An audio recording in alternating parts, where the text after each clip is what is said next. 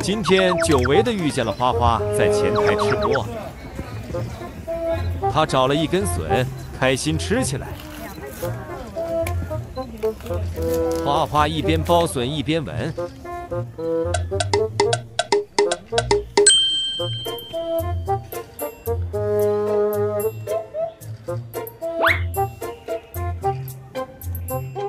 花宝鸡趴下来仔细寻找，想重新找一根更美味一点的。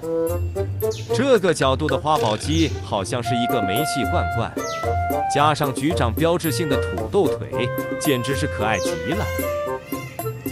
花花终于在屁股后面找到了一根，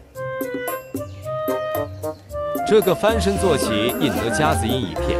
花花真的太好看了。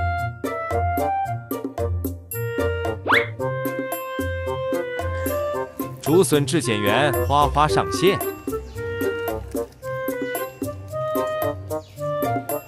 这根笋味道还不错。参观时间要结束了，花菊来了个超可爱翻身。哎，有个请你往往外走。